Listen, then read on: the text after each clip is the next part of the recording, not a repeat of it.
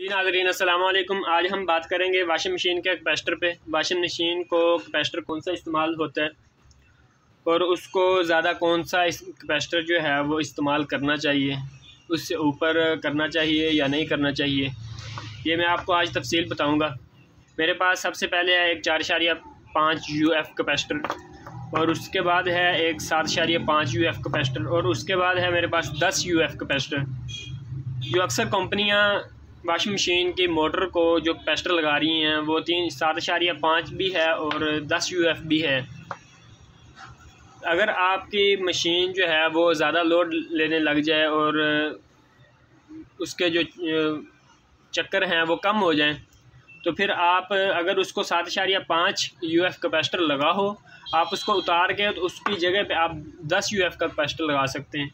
अगर पहले ही दस यू एफ़ का कैपेस्टर लगाओ तो फिर आप उसको दस यू की जगह पे कोई और कैपेसिटर नहीं लगा सकते।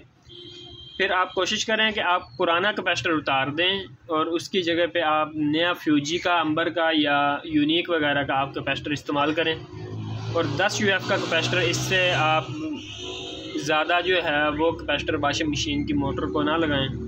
अगर आपको घर में ख़ुद कैपेसिटर लगाना पड़े तो आप 10 यू का कैपेसिटर इस्तेमाल करें। और ड्रायर मशीन के अंदर जो है वो इस्तेमाल होने वाले हैं चार शारिया पाँच और सात शारिया पाँच यू अगर ऐसे ही उसकी भी अगर स्पीड कम हो गई हो तो फिर आप चार शारिया पाँच अगर उसको लगा हो आप उसको उतार के सात शारिया पाँच लगा सकते हैं। अगर उसको पहले ही सात शारिया पाँच लगा हो फिर आप उसको सात शारिया पाँच की जगह पे दस यू का कैपेसिटर नहीं, नहीं लगा सकते। फिर आपके मोटर मोटर के ऊपर ज़्यादा लोड डलने की वजह से मोटर ख़राब हो सकती है। आप फिर हल्की कंपनी का जो पहले लगा हो, आप उसको उतार के अच्छा कैपेसिटर, फ्यूजी, अंबर या यूनिक का कैपेसिटर आप इस्तेमाल करें और फिर वो कैपेसिटर आप लगाएँ।